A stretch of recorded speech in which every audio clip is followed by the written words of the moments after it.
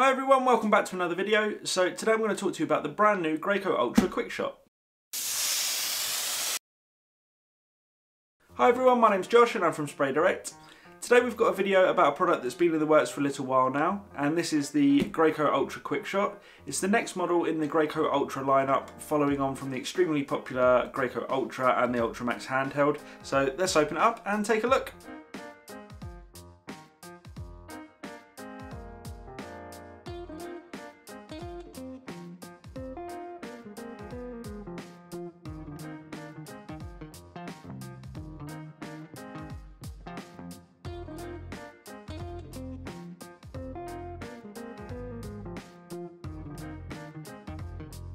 So here it is, and as you can see, it comes with everything you're going to need to get started. So we've got the quickshot unit itself, with the belt and the holster to hold it on your waist.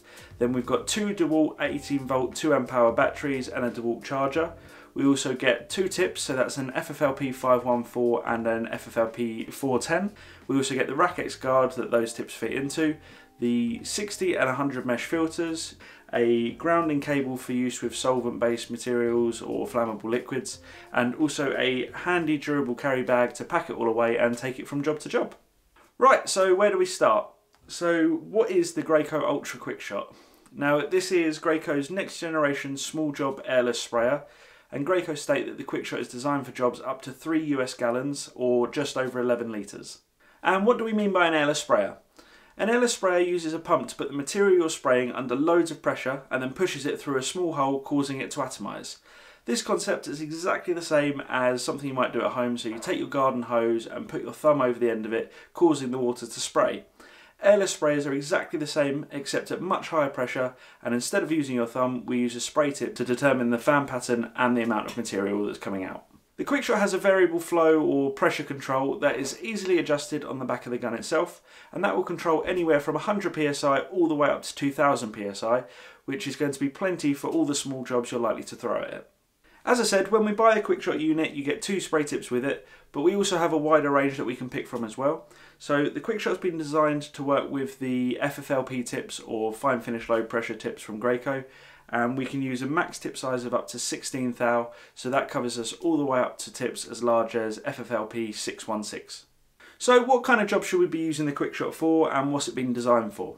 So first up we've got the jobs inside the house so you're going to be doing things like doors, cabinets, skirting boards, architraves, stair spindles uh, and even some feature walls.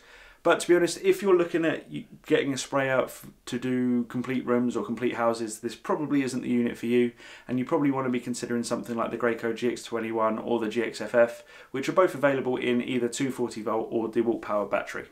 Moving outside, we could then use the quick Quickshot for jobs like garage doors, uh, a few fence panels, furniture, decking, or even small sheds. Again, just bear in mind the machine is designed for complete jobs that are using up to around 11 litres, so if you think the job might need more than that, it could be time to grab your bigger machine. The Quickshot is capable of spraying most water and solvent based materials you're likely to be using around the house, and with any airless sprayer, you may get the best results by thinning your material slightly, which will allow you to reduce the spraying pressure and in turn reduce your overspray. Now I'll quickly run you through a few different features of the machine itself and then we can move into the spray booth and I'll show you it in action. The first and in my opinion the most impressive and revolutionary feature of this unit is the gun itself. It feels very much like the popular Graco Contractor PC Compact in terms of its physical size, but it's also very light and manoeuvrable. You'll notice the gun itself is fed with this 6 foot airless hose, which is protected with a braided sleeve, which also houses some electrical cables. Now, we don't normally need electrical cables up to the gun, but this is where the quick shot becomes really interesting. Unlike conventional airless guns, where we pull a trigger to mechanically pull a needle off of a seat to start the flow of material, with the quickshot gun, when we pull the trigger, we're actually simply pressing an electrical button, which opens a valve to release the material. Releasing the trigger then shuts off the flow of material so fast that it virtually eliminates those little annoying spits altogether. And because the trigger is just a button, it requires much less force and therefore hugely reduces the repetitive strain you can get in your fingers or in your forearm, forcing you to switch between left and right hands, which in turn affects the quality of our finish. As I mentioned earlier, we also have the pressure or flow control here on the back of the gun, and this is where we can easily adjust our to our required setup on the go depending on the job we're doing rather than going back to our pump with conventional units. At the lowest setting we're going to be at around 100 psi uh, and then we can increase up to a maximum of 2000 psi if we're using thicker materials. Another feature I'm a big fan of is the 900ml cup system.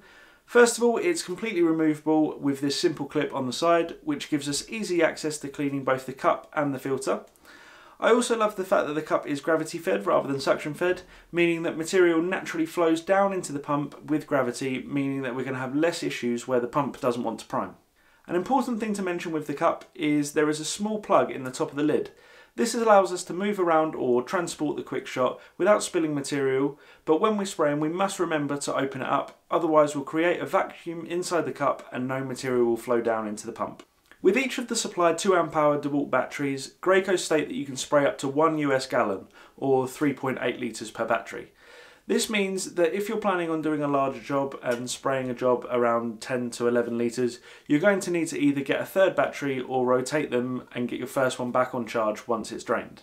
Now I've physically seen and had a play with the Ultra Quick Shot, it's clear Graco have really thought about making it really easy to use and really easy to set up. You've only got four main controls on the complete system.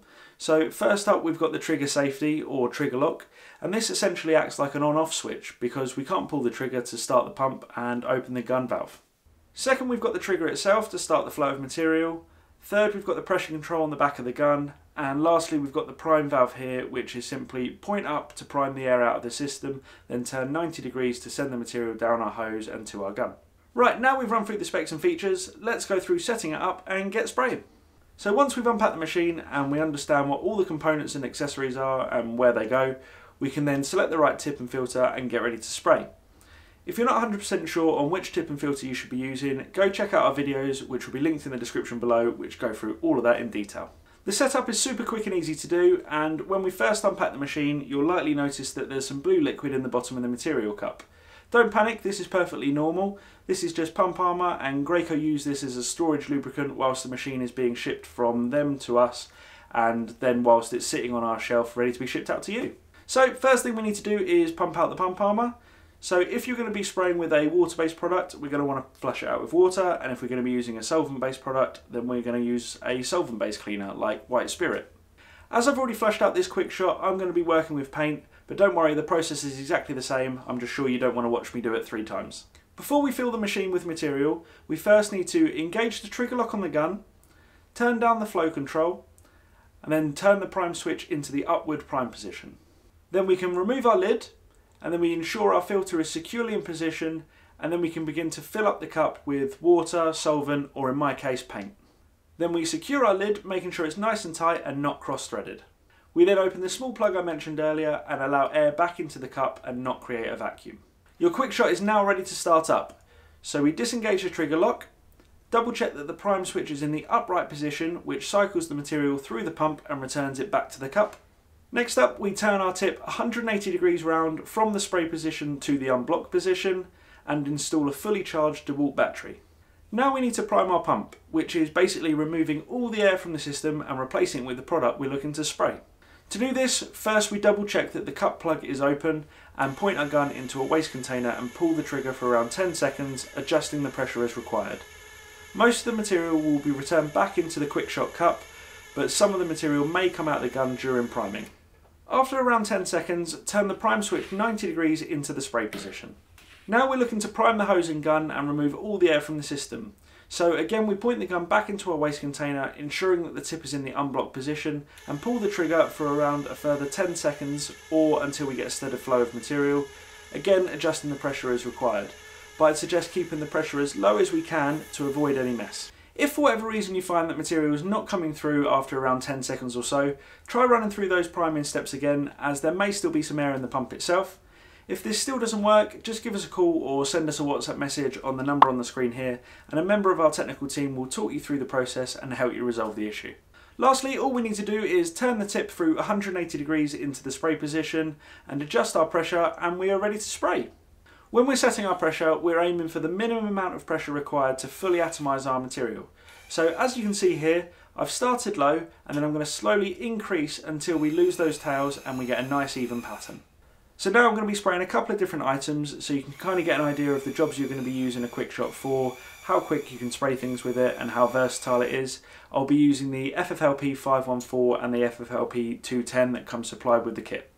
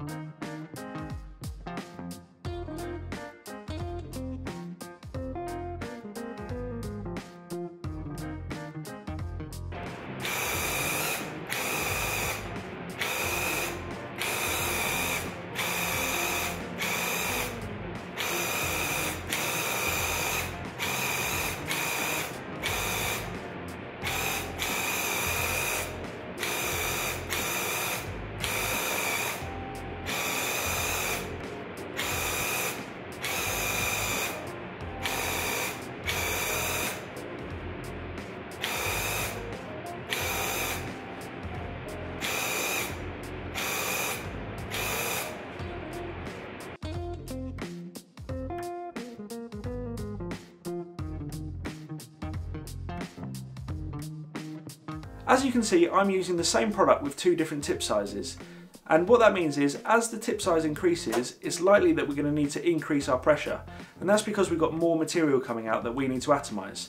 So don't just assume that the same product will spray at the same pressure with different tips. It's likely you'll need to fine tune your pressure after each change you make. It's worth also remembering to reduce the pressure we're spraying at and therefore reduce overspray and paint wastage and wear and tear on the pump, we can do a couple of things to reduce the viscosity and the surface tension of the material. So firstly, we can thin the material itself, let's say by around 10% as a rule of thumb for most emulsions and furniture coatings. Another good option is we can heat up a material, which is often an overlooked factor. If we're spraying a water-based product and we leave it in our van overnight and the temperature drops sub-zero in the winter, our paint is really going to thicken up and make it much harder to spray and we're going to need to be spraying at a much higher pressure. This procedure of flushing and filling with the material is very similar whether you are flushing out the factory pump armour, filling up with the product you want to spray or cleaning the unit after you've sprayed. There's only a couple of different steps that we should follow when we're cleaning especially, and they are to flush at a high flow rate. So we do this by turning the pressure control on the back of the gun all the way up to 10, rather than doing it at a slow speed when we're priming. And then we also do it for a slightly longer uh, period of time, so 15, 20 seconds or so. We also obviously want to clean the external parts of the sprayer and remove any overspray, keep it looking nice and fresh. We should also remove the filter and the cup by pressing the button on the side of the cup and clean these separately. And when we're packing away the quick shot, we want to leave the pump full of pump armour, leave the pump in the prime position, close the cup plug and remove the battery so it's ready to go for the next time you use it. If you get stuck, Graco ship each quick shot with a really good manual and quick guide which clearly runs you through the process step by step or again just give us a call and we can talk you through it over the phone. In summary, I think it's going to be a really popular machine and it's the perfect setup for someone doing small jobs, either residentially or on site, as it's quick, easy to set up and extremely portable. Another big benefit for me is if you're on a site with no power at all, your alternative is a big petrol generator which takes up lots of space in the van and costs you money to put fuel in it. Obviously, if you're on a site with no power at all, you're going to need to make sure your batteries are charged before arriving on site. At the time of making this video, you can buy an additional DeWalt battery charger for around £10 and a 2 amp hour DeWalt battery for around £25. So if you aren't able to charge your batteries on site and you need to go for that third battery, it's still a cost effective option. I'll put a link in the description below to the Graco Ultra Quick Shot on our website, so if you wanted to find out a bit more you can check it out there. If you've liked the video and found it helpful then please hit that thumbs up icon and if you wanted to find out more and get access to exclusive offers then please subscribe to the channel. Also hit the notification bell so you get a notification when we upload a new video, that way you aren't going to miss out on any new offers or content. Thank you very much for watching and I'll see you in the next one.